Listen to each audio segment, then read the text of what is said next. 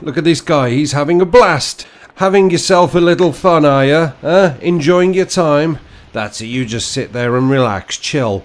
Is that one? Oh, I thought that was one up there.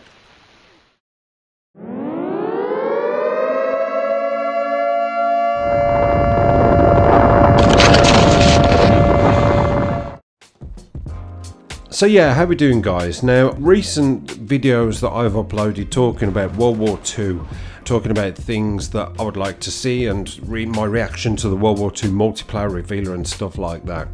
Um, it would appear that a lot of people are excited. Most people do feel that it's a, a, move in the general direction that they want it to go, and a feeling of it's about time. You know, we've had our three years of space, aerial, flying, advanced movements. Now we want some boots on the ground. People asked for boots on the ground, and Sledgehammer said, okay, we will deliver. However, looking back into the comments section when I read through them, I do see a lot of people, and I mean a lot of people, I would probably say, I'd probably say about 30% of the comments are people saying it's just going to be too campy. People are going to camp it hard.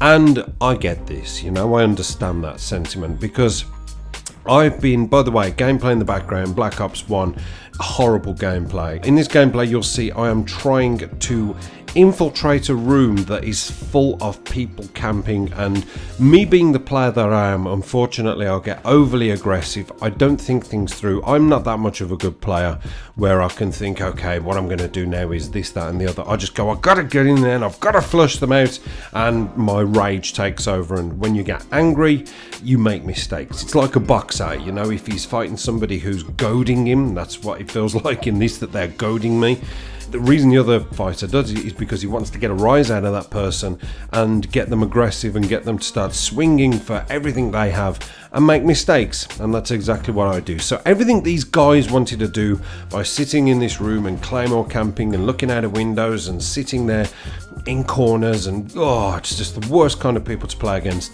they catch me out practically every single time and I just don't learn my lesson I keep going back and I keep feeding them more so more for me silly boy but um, yeah I just wanted to use this gameplay to highlight this now, most people are concerned about the lack of advanced movements, the fact that everybody now is used to with Advanced Warfare, with Black Ops 3, and with Infinite Warfare, people are used to having, you know, people want to move around. This is the thing that it's done, the advanced movement has done to the game. It's made people want to fly, it's made people want to run and jump and run along a wall out of view and jump and surprise people and spray them from above and give everybody that surprise element. Boots on the ground won't it won't accommodate that I don't believe. I don't know. I don't know what many of the maps. I don't know any of the maps. I haven't played the game so I don't understand the flow and the rotation of the maps. I don't understand how they work. But what I would imagine is is that if they are basing it on real life environments then it's to encourage a lot of camping and I am my sentiment is the same as these people who've been writing in the comments section that they are really concerned about the camping. Now, as I've said before, in the past I can slate off campers as much as I like, but I can go back to when I started playing. I used to camp it a little bit because I just I just didn't know what to do. You know, I'd see people at the top of their game, moving around, getting kill after kill, calling in Harriers. Um, my view was the only way I would get streaks was to sort of just camp them out a little bit. You know, I've got to get a Harrier. If I get a Harrier, um, then sorry, if I get an airstrike, I beg your pardon. If I get an airstrike, it might lead on to my chopper, and then I might feel a bit more confident to move around because I've sort of I've acquired the goal that I'm aiming to get. That was back then. That was back in Call of Duty 4, where first-person shooters weren't as popular as they are now. More people play them. They are more popular than ever.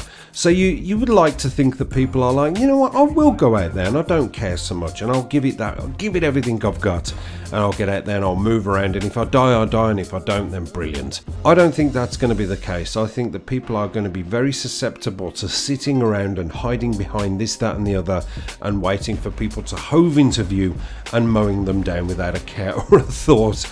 I don't know what Sledgehammer are going to do to discourage that. I don't know whether they've got. I've talked in the past asked about camping, and I said that there should be a there should be a thing where if a player sits in one position for too long, then he becomes available to everybody on the UAV, or it sort of sends out a signal, or people can almost hear the team speak a little bit more. So if he's sitting in one place, then maybe if you've got your headset on, you can hear somebody talking to themselves and giving their position away. I don't, I don't know.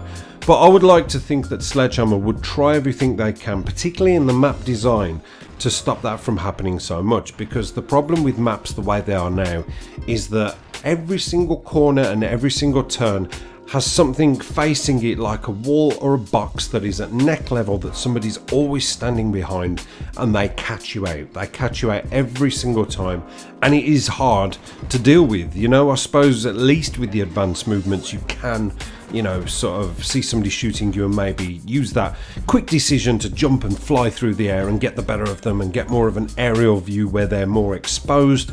Whereas in, I think in COD World War II, we're going to struggle with that, especially with the gameplays that I've seen. It's very dark. There's a lot of dark places, dark places, dark corners, dark turns, dark rooms is going is going to um, is going to result in a lot of surprises. So I hope I'm wrong there. I hope I've got that very very wrong. I hope there is something that Sledgehammer can do, and maybe somebody's heard something. Maybe somebody who was out there playing this game at E3 can come back and say, "Do you know what? It didn't feel campy." There's too much in the maps that you know you can get around the back of people who are trying that tactic, or maybe the spawns flip around a lot. So it can't be the case where you can stay in one place and just know that you're automatically going to be taking people out coming from that end of the map with the three lane system. Unfortunately, just keep coming, just keep coming guys, you know, cannon fodder. Hopefully the map fluidity is going to be good enough to not allow that to happen. That's one of my biggest concerns and that is the one thing that I see in the comment section popping up every now and then and it is going to be a big game changer for a lot of people to encourage them not to purchase the game. It's quid pro quo, it's vice versa, isn't it? You know, you do sort of get in that mindset of thinking, well, every time I go through that room, I get murdered. So I'm not going to go into that room, but I will stay here because every time they come into this room, they get murdered. Let's see who uh, let's see who commits first. It becomes more of a battle of wits. Dimwits, I suppose. So yeah, let me know, is that one of your concerns? And if you do think that is one of your concerns, then what do you suppose they can possibly do about it? Because we are going to be having the beta soon, and obviously you would like to think that they're going to take the feedback on board. And I think that if the maps are catering too much to people hiding behind stuff and waiting for people to step out, they can change all that. You know, they've changed maps before. I've said this before. Maps have been altered. Maps have been altered two years into a game. Think of Modern Warfare 2 with the whole Uh, I don't know what was it, some Muslim sign that was in a bathroom that said God is love, and the Muslims were up in arms because they were disgusted that something symbolising God should be in a toilet area, and they just took it out.